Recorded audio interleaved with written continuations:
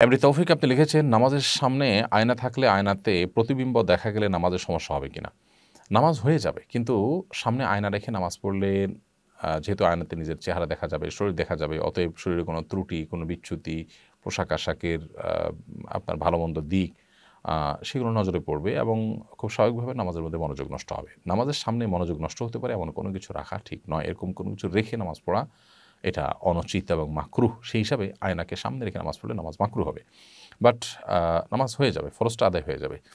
যদি আয়না থাকেও, তাহলে যথাসম্ভব নজরকে হেফাজত করে সেদার এরিয়া এবং গোল্ডের মধ্যে নজর রেখে সালাত আদায় করতে হবে এবং ইচ্ছাকৃতভাবে আয়নার সামনে রেখে সালাত আদায় করবে না। প্রয়োজনে অন্য কোথাও দাঁড়াবে যাতে করে চোখের সামনে আয়না বা আয়না নিজের প্রতিবিম্ব ছায়া দেখা না যায়।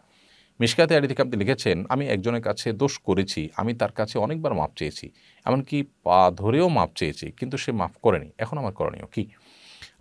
কারোর কাছে বারবার ভুল করার পর মাপ চাওয়া হলে তিনি অবশ্যই মাফ করে দেওয়া উচিত। যতবারই মানুষ ভুল করুক দিন শেষে তাকে মাফ করা উচিত না, সিয়া করে দেওয়া উচিত প্রয়োজনে।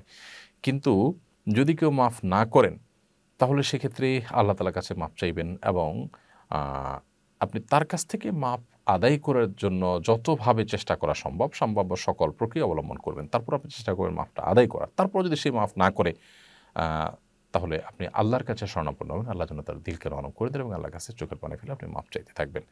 সাদিয়া সুলতান আপনি লিখেছেন, আমি একটি খ্রিস্টান প্রধান দেশে থাকি। এখানে অনেক গরিব মানুষ আছে। তাদেরকে দান সাদেকা করা যায় হবে কিনা? অবশ্যই যায় হবে। অমুসলিম হলে তাদেরকে দান সাদেকা করা জায়েজ ব্যাপারটা এরকম, না জায়েজ ব্যাপারটা এরকম নয়, বরং অন্য ধরনের মানুষরাও অসহায় হলে, গরিব হলে তাদেরকে দান সাদেকা করা জায়েজ আছে।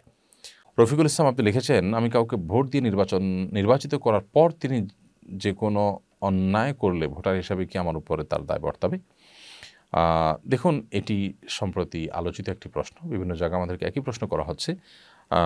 ভোট দিয়ে যদি কেউ, আপনার ভোট দিয়ে যদি কেউ নির্বাচিত হন আপনার ভোটের মাধ্যমে কেউ নির্বাচিত হন এবং এরপর তিনি অন্যায় অত্যাচার করেন গুনাহের কাজ করেন পাপের কাজে লিপ্ত হন।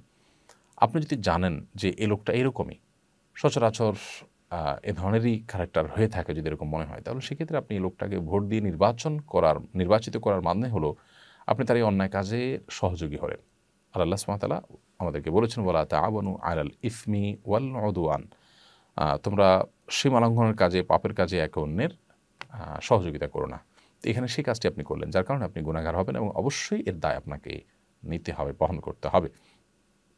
আর যদি ব্যাপারটা এরকম হয় যে লোকটাকে আপনি ভালো মনে করে দিয়েছেন, তিনি পরবর্তীতে দেখা গেল যে খারাপ, আপনি যখন দিয়েছেন তখন আপনি তাকে ভালো হিসাবেই জানতেন। কিন্তু পরবর্তীতে তার আসল রূপ প্রকাশ পেয়েছে, সে খারাপ কাজ শুরু করে দিয়েছে। তাহলে আল্লাহর কাছে আপনি ইস্তেকফার করবেন যে আল্লাহ আমার কাজের ফলটা দিন শেষে খারাপ দেখছি আমি, যদিও আমার সেখানে ইচ্ছা ছিল না। আশা করা যায় এর কারণে আপনি আল্লাহর কাছে দায়ী থাকবেন না। অ্যাটলিস্ট যদি আপনি শুরুতে নিশ্চিত হন যে হ্যাঁ লোকটা ভালো। তার দ্বারা দিনের ইসলামের দেশের মানুষের স্বার্থ কতটা আপনার সংরক্ষিত থাকবে, নাকি এগুলোর কোনো বাড়াই তার কাছে থাকবে না, এটি আপনার তার পক্ষে রায় দেওয়ার আগে বারবার বিভিন্নভাবে আপনাকে চিন্তা করতে হবে, ভাবতে হবে এবং তারপর ডিসিশন নিতে হবে। মোহাম্মদ কায়েদুল ইসলাম লিখেছেন, আমি গায়ের মাহারামদের সাথে পর্দা করার চেষ্টা করি, কিন্তু পরিবারের অনেকের সাথে পর্দা করতে পারি না, আমার কী করা উচিত?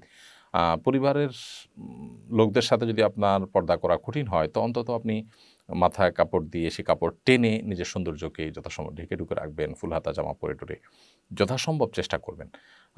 এরপরও যতটুকু আপনার অপারগতা থাকে বা অনিচ্ছায় হয়ে যায়, সেটা আল্লাহ তালা আশা করি মাফ করবেন।